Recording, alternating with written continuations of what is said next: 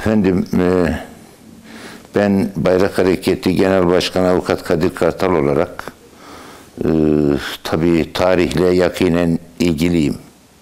Aslında milletler tarihlerini sebep ve sonuçlarıyla birlikte ortaya koymalıdırlar.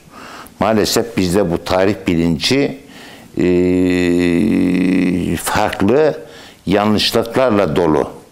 Şimdi efendim yakın tarihe baktığımızda 30-40 yıl içerisindeki hızla gelişen hadiselere baktığımızda bir, e, Arap Baharı, birinci, ikinci Körfez Savaşı, e, Irak Savaşı, Irak, e, İran Savaşı 8 yıl, e, İran'ın e, Hümeyni'nin işte adamlarıyla birlikte Paris'te yetiştirilmesi ve İran devrimi, Şia'yı doğurması, ve bu da ayrıca İslam dünyasıyla olan ilişkileri farklı bir duruma getiriyor. Diğer taraftan Arap Baharı, Irak-İran Savaşı, Irak-Kuveyt Savaşı, Birinci Körfez Savaşı, İkinci Körfez Savaşı ve e, tabii temelinde şu var. 1980 Amerikan Güvenlik Baş Danışmanı Huntington medeniyetler çatışması, yeni dünya düzeni, Büyük Orta Doğu projesi. Şimdi Gazze yumuşak karın bir şey değil. Hedef Türk milleti, Türk vatanı ve Türk devletidir. Oyun büyüktür. Biz aşağı yukarı 1940 yılından beri maalesef emperyalizmin gemisinde uyutulduk. Bir dönem geldi solcu, sağcı, milliyetçi, liberal, muhafazakar, ılımlı, ihtilali yapanlar 80 yılımı kaybettim. Uluslararası ilişkiler güç ve rekabet mücadelesidir. Evet, telin etmekle, miting yapmakla bir problemi çözemezsiniz. Mesele sadece Gazze değil. Bugünlerde bir duyum alıyorum. 2, 2 milyar dolarla acaba 1 milyon e, Gazze'liyi ülkene alır mısın? Anlaşmaları kol geziyor. Anlaşma zeminleri aranıyor. E diğer taraftan 20 milyona yakın insan yol geçen hanı. Öyle şu bu değil. Afgan hepsi Amerikan eğitimini Amerikalı e, askerler tarafından eğitimden geçmiş. E diğer taraftan Suriyeli olayı. Şimdi Suriye dört parçaya ayrılacak. Altyapısı hazırlandı. Ve İsrail 8 milyonluk bir devletçik e, ne yapıyor? Şam ve Halep havaalanlarını vurdu. Yani şimdi 3. Dünya Savaşı'na doğru giderken ama burada temel konu Türk milleti ve Türk vatanı ve Türk devletidir. Neden? Dünyanın merkezi canım vatandır. Dünya buradan idare edilir. Emperyalistlerin masasında bir konu vardır. Sayın İlker Bey, aziz dostum. Şark meselesi ve Türk meselesi. 1815 yılından beri bu devam ediyor. 1940 yılında bizi biz yapan değerleri rafa kaldırdılar. İşte ne yaptılar? E, emperyalizmin gemisine bindik, bindirildik. IMF'i, Dünya Bankası, Dünya Ticaret Örgütü, NATO, Ekonomik İşbirliği Anlaşması, Eğitim Komisyonu'yla yavaş yavaş yavaş yavaş Batılı Hristiyan beyaz adam e, e, Daniel Döfe'nin Robinson'u günlerden cuma kurtardığı adama cuma diyor. Asimilasyon başladı. Batılı Hristiyan beyaz adam e, ensemizde boza pişiriyor ve kirletildik. Ve bizi biz yapan değerleri unuttuk. Milli mücadelede tek adamla büyük bir kurtarıcı, yeni bir vatanı, yeni bir devleti, yeni bir millet, Türk milleti doğdu. Ancak o zaman düşman belliydi. Bu 80 yıl içerisinde ucu olduk. Sağcı olduk, solcu olduk, efendim milliyetçi olduk. İhtilali yapanlar ılımlı, İslam Müslüman ayaklarıyla Orta Doğu'da bugün tek mesele hedef Türk milleti, Türk vatanı ve Türk devleti. Ne yapılmak isteniyor? Yapılmak istenen güneyde PKK örgütü doğrultusunda aslında Kürtlükle ilgisi yok. Bir ağacın iki dalıyız. Bir tampon devlet. Artvin, Adana ve doğusunda da Büyük Ermenistan düşünülüyor. Orta Asya'nın, Kafkasların bakir kaynakları altyapısı da hazırlandı. Biraz önce söylediğim gibi Birinci Körfez Savaşı, İran devrimi. Bunlar bizi Türkiye'yi içinde bulunduğumuz zaman dilimini bu hale getirdi. Onun için bütün meselem Türk milletini uyanmaya davet ediyorum. Yani şimdi 10 yaş ve altı cehennemi ararlar.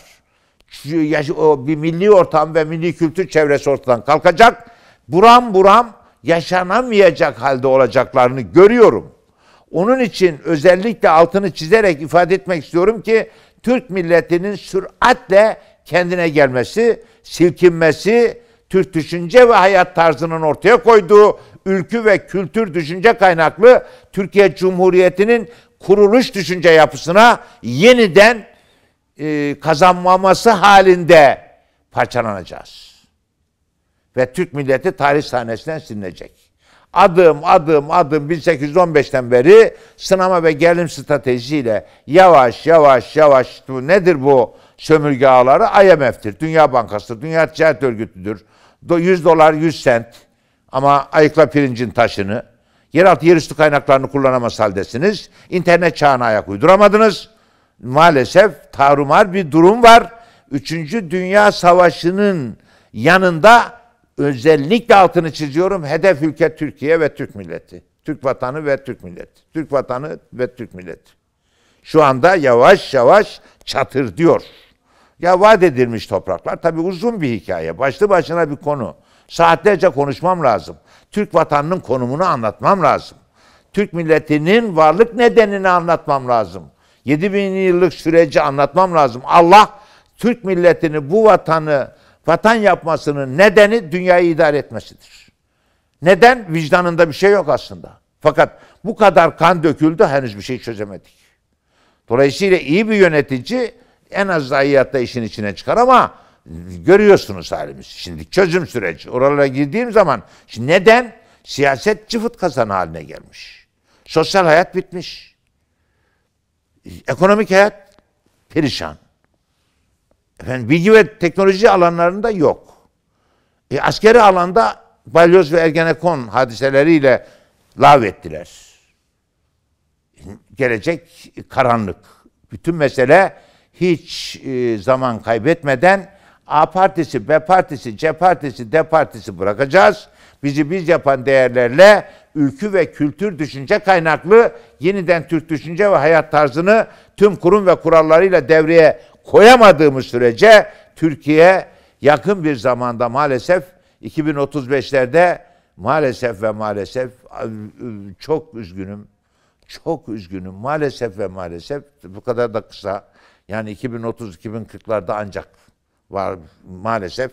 Yani daha daha daha daha bu işi böyle bizzat göreceğiz. Öyle telinle, öyle konsolosluğun karşısında araba yakmakla falan filan. Eğer ben Türk milleti olarak 1940'tan beri bizi biz yapan değerlerle dörtten Almanya, yedi buçuk İtalya olmamız halinde İsrail çıkamazdı.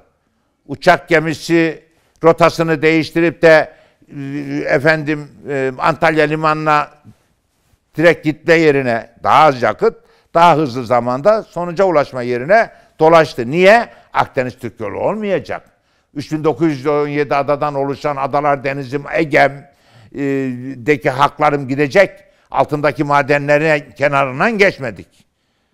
Yani ve dünya buradan idare edilir. Onun için hedef Türk milleti. Tarihi de bunu emrediyor. Neden? Emperyalizme karşı duruşundan dolayı.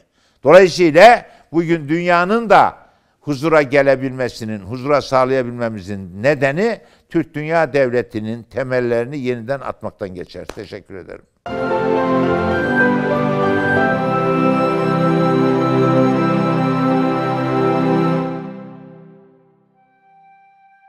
Efendim maalesef? Efendim, efendim, ah. Yahu dertliyim.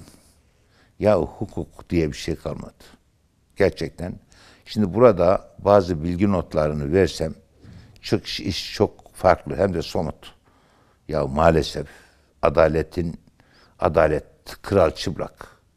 Böyle bir şey olabilir mi? Şimdi Yargıtay 3. Ceza Dairesi e, Yargıtay Cumhuriyet Başsavcılığını göreve çağırıyor. Diyor ki Anayasa Mahkemesi'nde 8 tane üye e, yerinde karar vermedi. Anayasanın 84. maddesini göze almadı ve diyor e, haklarında suç duyurusunda bul. E, Yüce Divan'da yargıla. Ya olacak şey değil. Neyini konuşayım? Şimdi adam milletvekili olduğunda henüz ceza verilmemişti. O kazanmış bir hak. Kazanmış hakkı ortadan kaldıramazsınız. Tabii maalesef, maalesef Türkiye'deki demokrasiye işlerlik kazandıramadık. Türkiye'deki demokrasi icazetli demokrasi. Türkiye'deki demokrasi güdümlü demokrasi. Biraz önce de arz ettim. Sayın İlker Karaca, nedir mesele? Yani bu, e, bu Türkiye'deki demokrasi oyun, uyutulma, Türk milletinin uyutma hadisesidir. Uculara, parçalara bölündük. Demokrasiye işlerlik kazandıramadık. Bugün Türkiye'deki meclis, milli irade, ya parti başkanı eşittir parti. Parti başkanıyla parti anılır hale gelmiş. Dolayısıyla A, B, C, D adaylarını işine yarar. Kaldır indir. Şekilde her şeyimiz. Kurumlar şekle mağdur. Şimdi efendim yani po, şey e, 2006 Amerikan Güvenlik Başdanışmanı Henze denilen e, kişi diyor ki Türkiye'yi parçalayabilmenin, federasyona götürebilmenin ki Türkiye İngi, İngi, şey değil, Amerika değil, Türkiye İsviçre değil. Böyle olmaz. Türkiye'de böyle bir şey olduğu zaman zaten aslında asıl amaç o parçalanması. Dolayısıyla diyor ki tek adam dönemine gelmemiz lazım. Ne zaman diyor? 2006. 13'ten 6 çıktı 17 yıl önce. Değil mi? Ama 2018'de zaten tek adam dönemine girdik.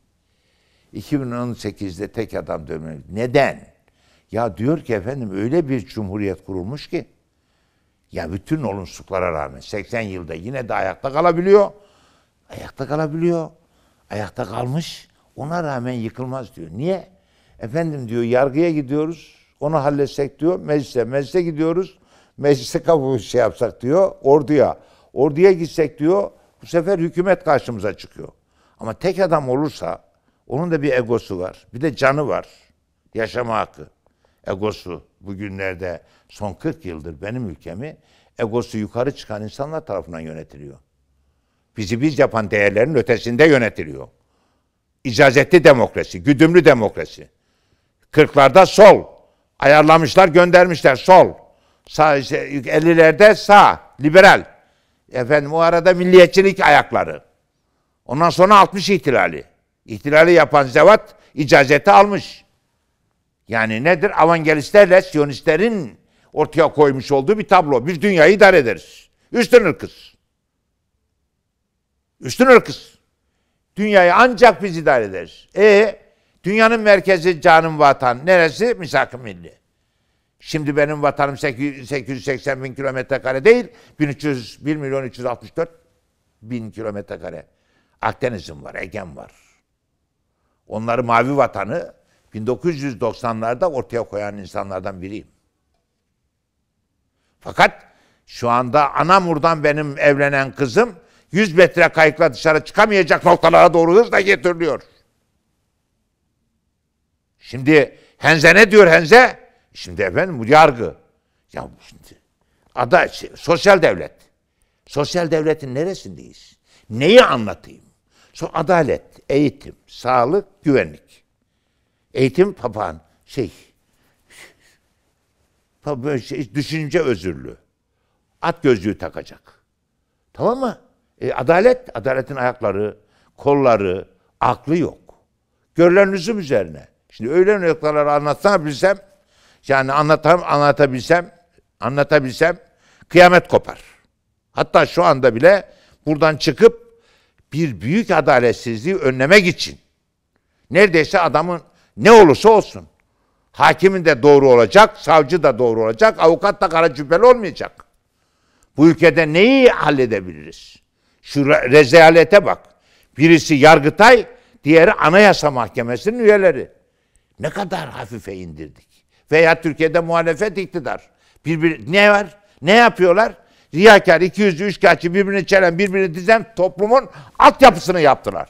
60 milyonum korku cumhuriyetin içerisinde. E, sosyal devleti sağlayamazsan, meclis meclis olmazsa, parti başkanının emrine girerse, daha geçenlerde 50 milyon dolar teşviği alan A partisine B partisine geçti. Daha yeni. Gündemde. Ne bu nasıl akıl? Bu nasıl kişilik? Bu nasıl irade? Bu nasıl vicdan? Hukuk hizmeti devletinin neresindeyim ben? Şimdi sen Yargıtay nasıl böyle bir yanlışı yaparsın? Ya efendim diğer taraftan da milli irade. O yanlış. Milli irade tecelli etmiyor. Adolf Hitler'in teşkilatlanma modeli. Almanya'ya gitti öğrendi. Orada makine mühendisi olması nedeniyle. Öğrendi geldi. Adolf Hitler'in teşkilatlanma modeli. Hep konuşuyorum. Paket demokrasisi. Ya paketi verdi, oyunu aldı. Niye? Anadolu'dan gelmiş. Niye? Madenleri işletememişsin. Hayvancılığı geliştirememişsin. Tarımı geliştirememişsin. Sosyal, sanayi ötesi çağı yakalayıp da oradaki vatandaşın doyuramamışsın. Süspanse edememişsin. Ne olur? Kuruduk. Kurular dünyası. Emperyalizmin gemesinde hikaye anlatıyoruz. Hukuk hizmeti devletinin, tolerans devletinin, şefkat devletinin neresindeyiz? Şimdi ben bu durumda ne konuşayım? Her biri beşer saatlik program. Eğitim, yüz karası. Denek, denek. Evlatlarım denek yetişiyor ya. Türk milletinin hızla uyanması lazım. Uyanması lazım. Biz olmalıyız. Onu da doğru olmalıyız. Öyle vı vı vı olmaz. Öyle şakası yok. Tarihi sebep ve sonuçlarla ortaya koymak zorundayız. Ve tarihten gelen haklarımızı korumak, savunmak, geliştirerek sonsuza kadar geliştirerek sonsuza kadar devamını mutlaka eğer bir milletsek, eğer birer Türk milleti, efendim Türk milleti derken zaten bir ırktan bahsetmiyorum. Eğer Türk millet evlatları ülkünün ve kültürün taşıyıcısıysa Türk. Yani o nedenle zaten Yüce Allah bu coğrafyayı Türk vatanı yapmış. Neden? Dünya buradan idaredir. Erzurum'dan 2000 metre yukarıdan koş gibi bakıyoruz. Böyle bir coğrafya. Orta Asya, Kafkaslar, Anadolu, Balkanlar ve Orta Doğu. Dünya kaynaklarının yüzde 75'inin tam ortasında. Jeopolitiği, jeoekonomik yapısı, jeostratejik yapısı, jeo e, kültürel yapısı itibariyle, jeoaskeri yapısıyla itibariyle olmaz. Benim diyor Kuzey ve Güney İpek yolu üzerinde. Beş kıtayı birbirine bağlayan ortak payda. Dünya kaynaklarının yüzde yetmiş beşi e, yoksullukla hemhal oluyoruz. Vatan evladı 100 dolar kazanabilmesi için yani efor, alın teri, alın teri, alın teri. 100 dolar eşittir 100 set matbaa masrafı. Karşılığı yok. 31 trilyon falan veya işte kaç trilyon bu Amerika'nın borcu. Niye, ne olacak yani? O kadar güzel kurmuş ki tezgah. Süper güçmüş. Sen de adam ol. Dört tane Almanya. Telin ne telini? Ne mitingi? Ne mitingi? Ne mitingi? Efendim e, şey Hamas. Hepsi oyun arkadaşlar. Sayın Karaca o bir oyun. Bir başlangıç. Hazırlığını yaptılar.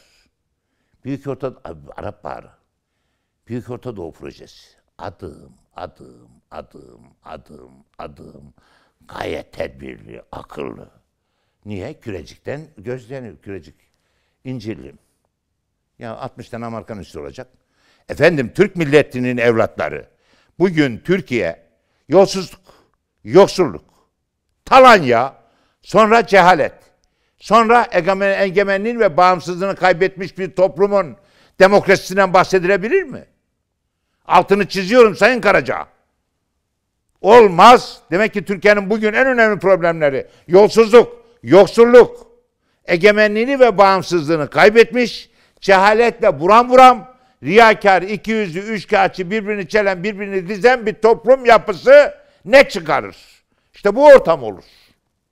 Bu ortam bizi yansıtmıyor. Teşekkürler.